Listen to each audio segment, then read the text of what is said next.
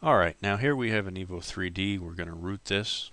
This uh, Evo 3D was loaned to us by Damon Alpha. So we thank him for that, especially since we've had his phone for two extra days waiting to make this video. And we're going to go ahead and root this phone now. And this phone is uh, reset to stock. And the first thing we want to do is we want to turn uh, debugging mode on. So we can do that now by going to the menu button here and then hitting settings and scrolling to applications. And then we'll go to development. And it'll say at the top USB debugging. We want to make sure that the check mark is green so we'll click it. Now it's green. It says do you want to allow debugging? Yes. Hit OK. And we'll go back out to the home screen.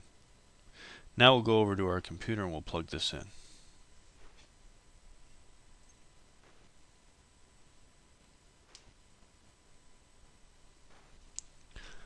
So you'll see that the computer is now loading the drivers. And we'll just wait a moment and let those load.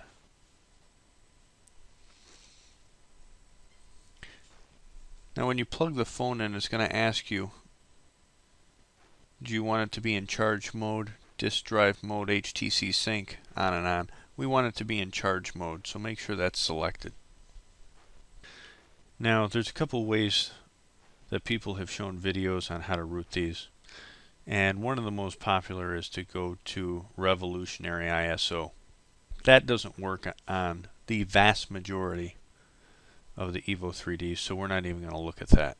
That's just a waste of time. So what we're going to do is I've got a I got all my shortcuts here, but you can follow along. I'm going to go to HTC Dev, which is simply htcdev.com and you're going to go to unlock your bootloader. Now, for some reason, on my old XP computer that I use for this, the page formatting is kind of screwy. So it may look slightly different when you get there. But basically, we're going to go to the page, we're going to click the Begin Unlock Bootloader button. Now, it's going to want us to log in. You're going to have to register it just takes a minute, so go ahead and do that.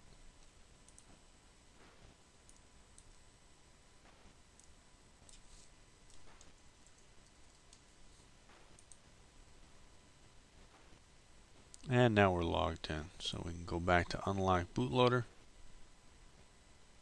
Scroll back down.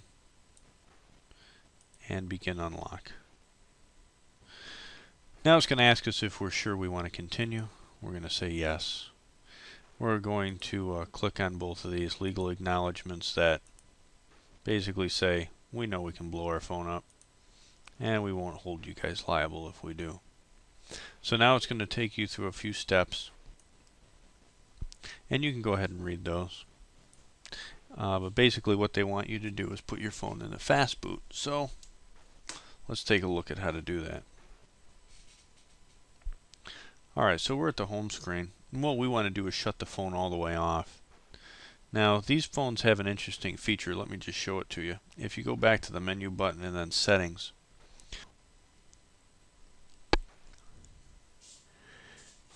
And now depending on what uh, firmware version you have, you're going to look either in applications or in the power icon. In this case it's in power and you'll see where it says fast boot and that's checked. Now if you have an older firmware version, it'll be in applications and it'll be down at the bottom, fast boot. And the reason I'm showing you that is because what it does is it doesn't shut your phone down all the way. It's like putting your computer in the sleep mode. In order to get into um, F-boot mode, we actually have to pull the battery out of this phone. So you pull the back cover off and take the battery out. Then you put the battery back in, put the case back on, hold the volume down button, and then hit power. And after a moment, release the power button. And you'll go into the bootloader. Now at the very top of the menu, it gives you a couple of choices. Fast boot, recovery, factory reset, on and on. Fast boot is already highlighted. To select it, just hit the power button again and you'll see fast boot up at the top in red.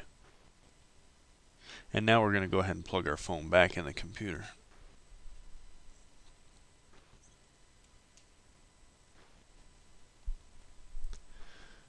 So now it found the phone in fast boot mode. It's going to load the drivers and install it. So that's what we want. Now we'll click proceed to step 5. And it's going to tell us we need to download these. Okay, so now it starts talking about creating a folder and all these files that you probably don't know anything about. That's fine. Let me walk you through this. In the download here, if you open this up, you'll see that we've included just about everything you need, I think. And we have this folder here titled ADB. So let's go ahead and just copy that and follow me. We'll go over here to my computer and let's put it right on the C drive.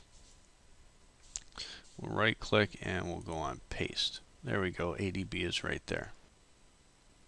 Now we'll close this. Now what we want to do is we want to open up a command window. I have a shortcut here, but you don't, so let me show you how to do that. Click on Start, and then click on Run. Now I'm running XP on this older computer. A lot of the newer computers,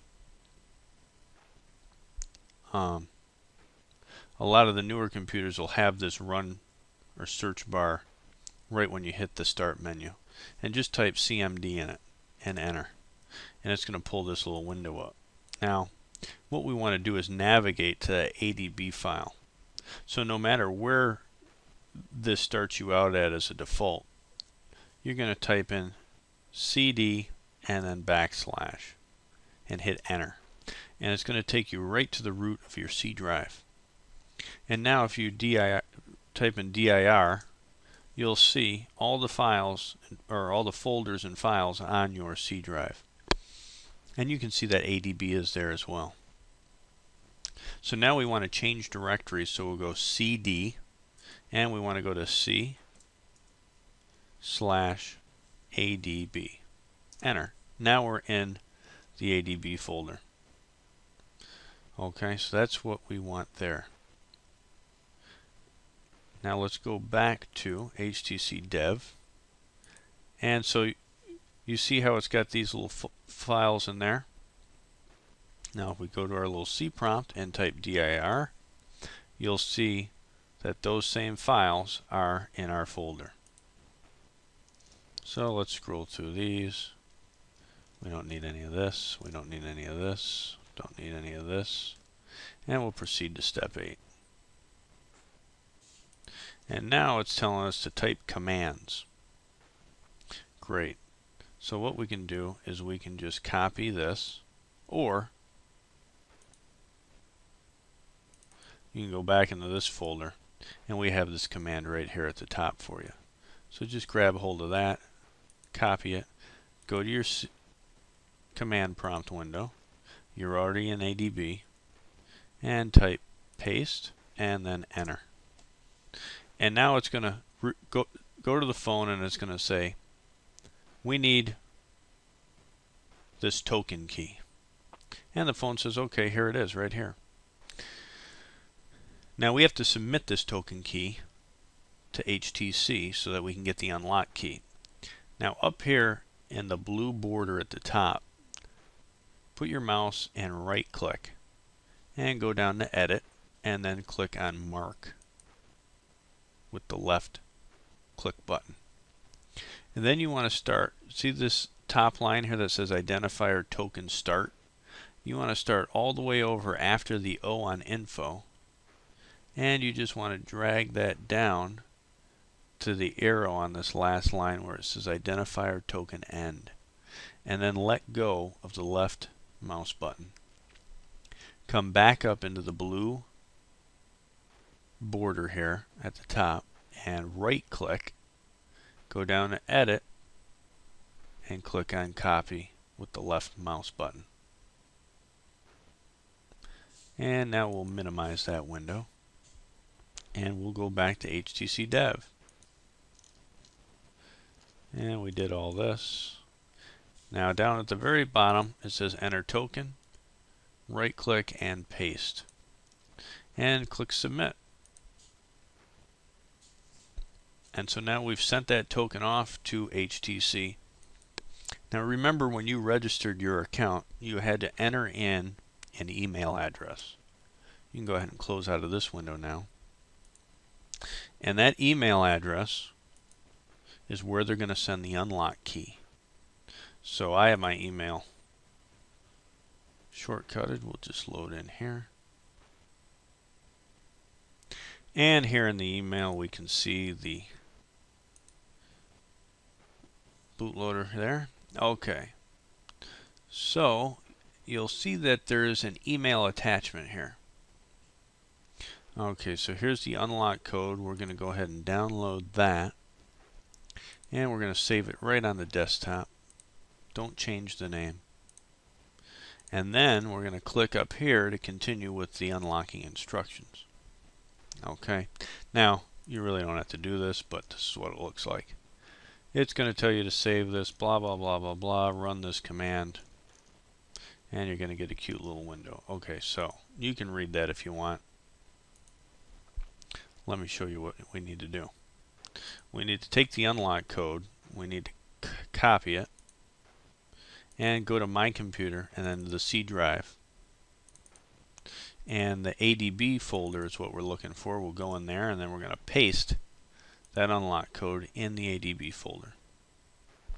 Now you can go back to our command lines here and grab the second one and hit copy and now go to our C prompt window and we'll hit paste and enter. Now if you look at your phone you're going to see an unlock bootloader screen and it's asking are you sure that you want to unlock your bootloader because you can really destroy your phone with an unlocked bootloader. You're going to use the volume down to select yes. And then you're going to use the power button to confirm.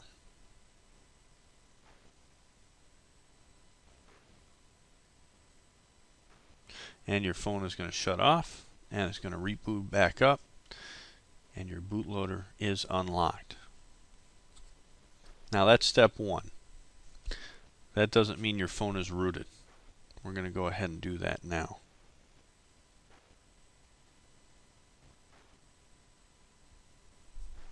Okay, so now once the phone boots up, you're going to have to go back through all the setup steps, just skipping next to all that stuff.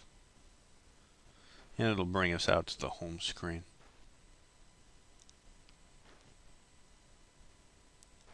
Now once we're at the home screen, we want to turn US debugging back on. So we'll go back to Menu, Settings, Applications, Development, and we'll hit USB debugging and OK. And now let's go ahead and plug our phone back in.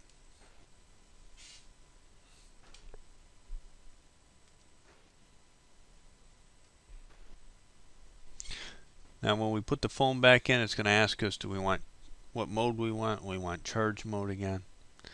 So now, here we are. Now you'll go back into the folder, root evo 3d, and go into flash recovery because we want to put a custom recovery on the phone. And click on the do it, and then press enter.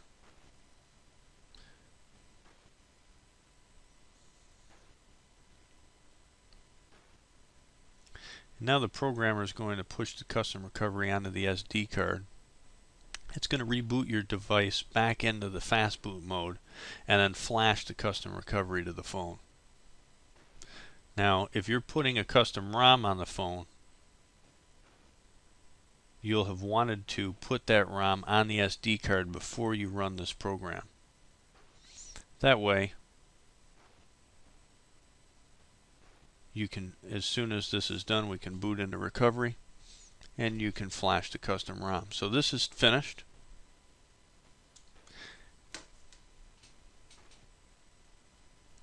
And as you can see, it's going to dump you off here in the fast boot menu.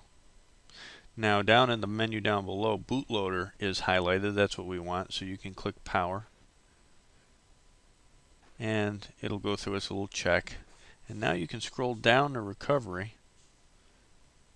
and hit the power button again and it's going to load you into the recovery that we just installed on the phone.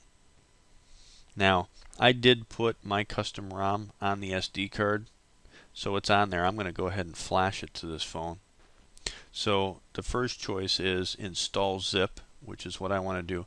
With my particular ROM, it's not an engineering ROM, so you don't have to wipe the cache, any of that stuff. You can simply install the ROM.